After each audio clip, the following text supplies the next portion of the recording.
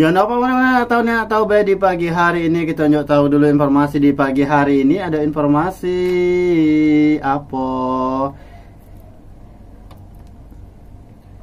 Informasi kita di pagi hari ini ada apa monai ada mengenai uh, 6 fakta unik ya. Uang yang lahir di bulan Juli. Uh, ayo yang lahir bulan Juli.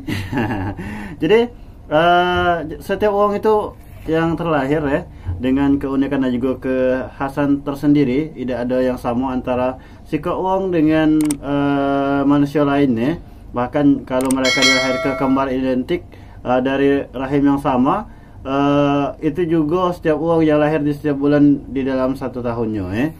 Jadi semua itu beda-beda ya. Nah memasuki bulan Juli tentu menjadi siko cara mengenal lebih dekat tentang uang yang lahir uh, bulan Juli Uh, seperti dikutip dari Times of India, uh, jadi kebanyakan dari uang yang lahir di bulan Juli memandang kehidupan dari kacamata mereka sendiri dan juga memiliki kepribadian yang menawan ya.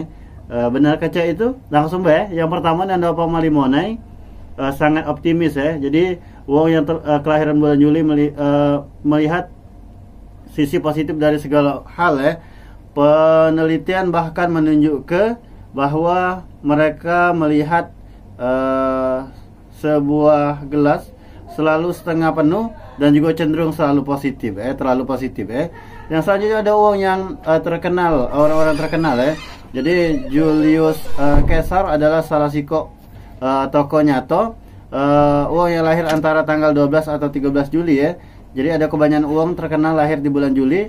Uh, pecah Nelson Mandela ya Putri Diana dan juga uh, George. Uh, Bass ya karena mereka punya uh, keper, uh, kepribadian yang menonjol. Yang ketiga uh, pintar mengendalikan emosi ya. Jadi penelitian di Jepang menemukan uang yang lahir di uh, musim panas atau di bulan dan semi atau bulan Juli uh, masuk salah satu di musim tersebut eh adalah mereka yang tenang dan juga tersusun secara uh, alamiah mereka punya kendali diri, kemampuan memilih rangkaian tindakan selama uh, konflik dan juga merencanakan masa depan. Ya.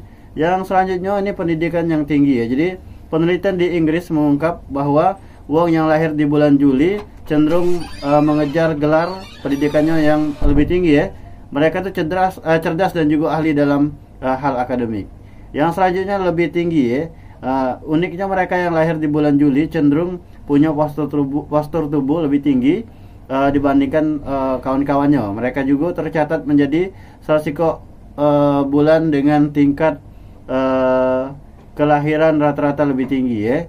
Yang se yang selanjutnya lagi Nenopa Malimone uh, cenderung kidal ya. Jadi sebuah penelitian menemukan uh, bahwa uang yang lahir antara bulan Maret sampai Juli lebih cenderung menjadi kidal ya. Nah, itulah kira-kira uh, ciri-ciri kepribadian Wong yang lahir di bulan Juli ya. Cawano benar atau tidak ya? Yang pastinya uh, silahkan tentukan sendiri ya.